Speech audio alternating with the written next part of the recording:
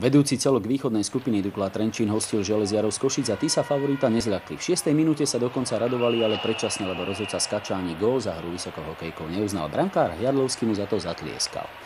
Tento moment prebral vojakov z letargie a až do konca tretiny boli pánmi na ľade. Skore otvoril Švehla v 15. minúte, keď hrali domáci presilovku.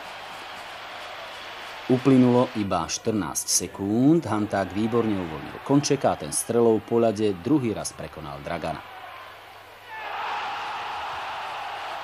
V druhej tretine vzrušila divákov najskôr 9. minúta. Vojaci urobili chybu, Pavol Zubek ušiel a všetci okrem rozhodcov videli, že gól dosiahol nohou. Tento raz mu Hjadlovský veru netlieskal. Domácich to však nevyviedlo z miery a už o dve minúty Jánoš zvýšil ich vedenie na rozdiel dvoch gólov. Dukla sa radovala aj po 60 minútach hry, lebo vyhrala nakoniec 6-2.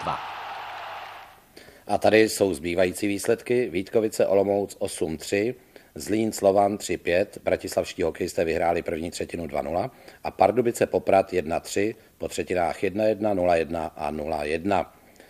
V západní skupině se vrátila do čela Plzeň, která má dvoubodový náskok před Litvínovem. Následují Jihlava, Pardubice, Kladno, Sparta a poslední je Brno. Ve východní skupině zvýšil Trenčín svůj náskok v čele už na 13 bodů. Za ním jsou Zlín, Vítkovice, Košice, Olomouc a s šestibodovým odstupem uzavírají tabulku Bratislavský Slovan a Poprad.